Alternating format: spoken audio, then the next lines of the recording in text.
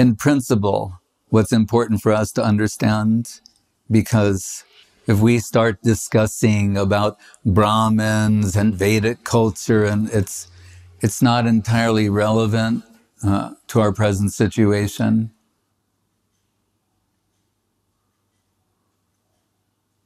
It says once in Russia, I met some devotee from perhaps from ISKCON, and he had a card and it said so and so das adhikari. And then in italics, it said Brahmin. that was his business card. so, and someone in Russia asked Gurudev once, if you take a monastic shnat bath, you know, if you bathe mentally, then do you have to bathe later?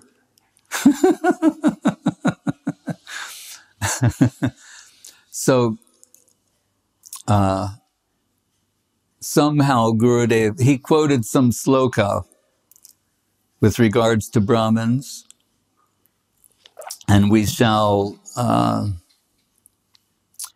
recall at this time that His Divine Grace is a Brahmin by birth. Right? His the village he comes from, the original name would have been Brahmanpur. And the modified name in time become Brahmanpar. But it's Brahmanpur. So not only is he a Brahmin, the town he comes from is called like Brahmanville right? The place, you know, where Brahmins are from. So he's a Brahmin to the extreme. And that could be observed. I mean, Brahmin is still a uh, Triguna uh, appellation. It's within the modes Raj, uh, Tama, Raja, Sattva, the highest aspect of the Triguna plane. But you could see him observable Brahminical traits such as uh, uh, preoccupation with the Punjika, the calendar, astrological uh, calculations and interpretations, shastric interpretations, medical advice, all things very consistent with uh, Brahminical uh, nature.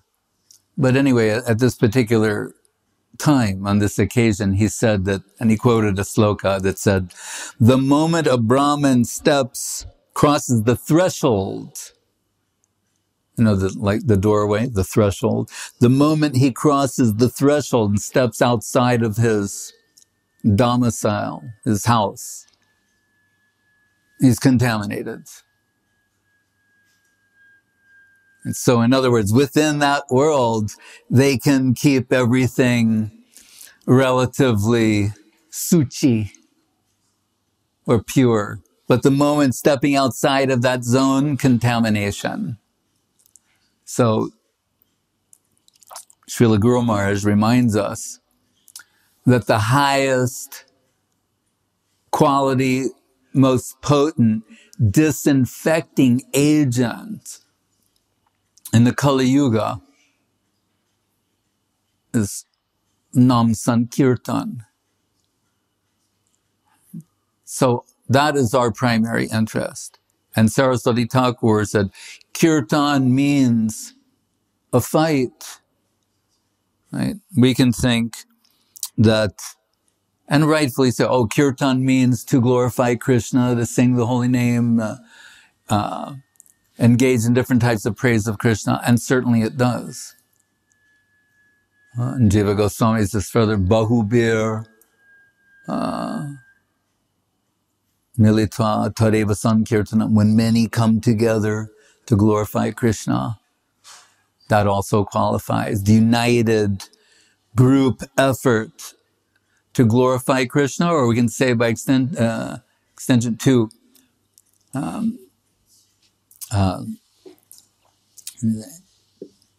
promote the glories of Krishna through preaching, publications, So Saraswati Thakur increased the connotation more by saying it means a fight. The Krishna conception, proper Krishna conception against the Mayic misconception. That was his idea. Not that to uh, stay in seclusion, taking the holy name of Krishna. I'm doing Nam Sankirtan. Pratishtara tari nirjanera gori tava harinam kevala koitava. In the famous song of Saraswati Thakur, uh, Vaishnava Ke. Who is a Vaishnava? He's saying this type of um, posturing is cheating. Uh, and many things he says there. Vaishnavi, Pratishta Tate Korinishta. Our interest is in pleasing the Vaishnavas. So that was his idea. And, but, and the reason I'm saying all of this in, in response to your question is that in the social context of when he began uh, the revolutionary missionary activities of Gaudiya Math and all its subsequent offspring. There are so-called Brahmins and Vaishnavas. So, and Vaishnavas who are Brahmins by birth. So, uh, observing and anticipating that Brahmins by birth, Vaishnavas who, so-called Vaishnavas who are Brahmins by birth would think less of non-Brahmin Vaishnavas. He introduced the giving of the sacred thread, the upavit.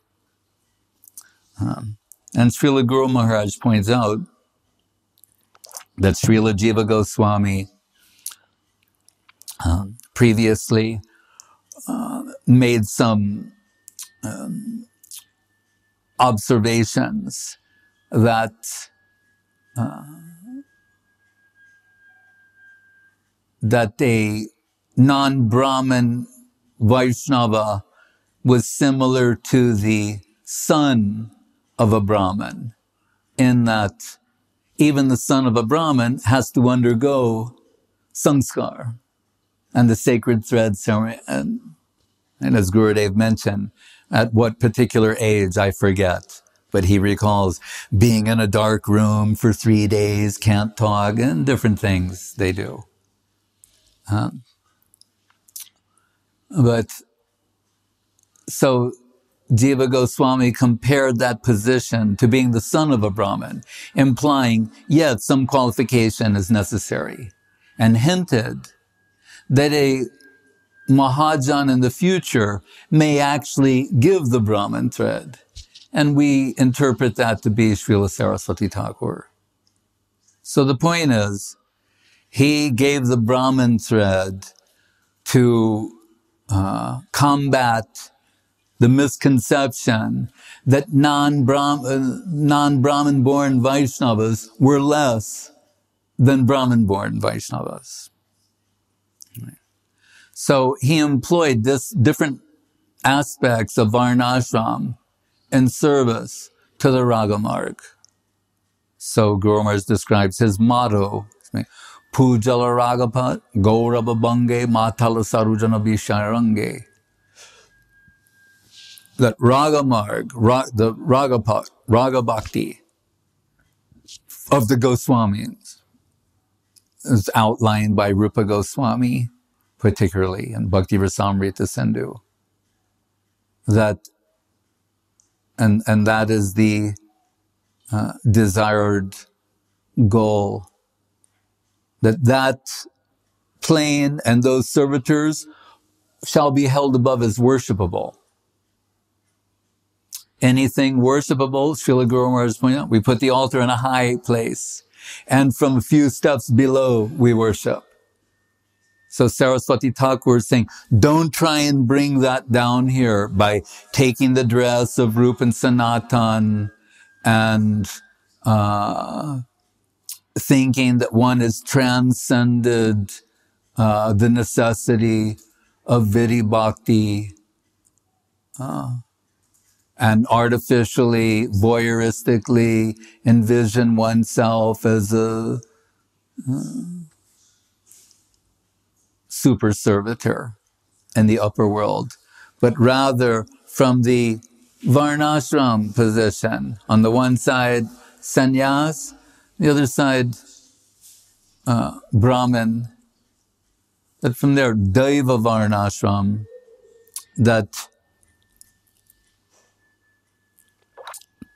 one would serve the uh, superior devotees.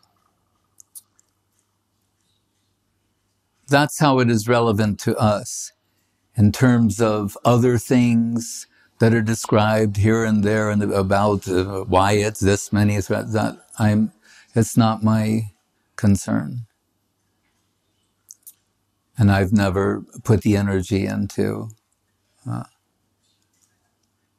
uh, acquiring that information. As I told recently, when some devotee said to Gurudev, they wanted to change their thread, something had happened, and they said, What is the mantra for putting on the Brahmin thread? And Gurudev said, Ask Krishna Sharan, ask Aranya Maharaj, who's Brahmin, and as I said, he doesn't have the computer but he has stacks of paper and little books and, and he looked through all his papers. He couldn't find it. The person came back to Gurudev and Gurudev said, chant Hare Krishna. so really for us to um, make much out of this uh, would be um, what's the word? Uh, well, it would be too much. but then if someone says, well, then why, out of deference to the uh, wishes of Srila Saraswati Thakur, why we do what we do is, was, as I told in the song, Vaishnavi Pratishta Tati Korinishta, to please the Guru Varga, what is pleasing to Srila Saraswati Thakur and his followers. They're doing things in a particular way, uh, and we're trying to maintain that and not take those things lightly, that they'll be dismissed lightly. He made these adjustments, we're following that. If someone says, well, theoretically, someone else could make other adjustments, it's true, theoretically they could. But what is the stature of Vaishnava who will make such adjustments? We'll have to carefully consider. And we see Srila Guru Maharaj, Srila Gurudev, they maintain this tradition, and we're also following that as given, particularly here by Srila Guru Maharaj.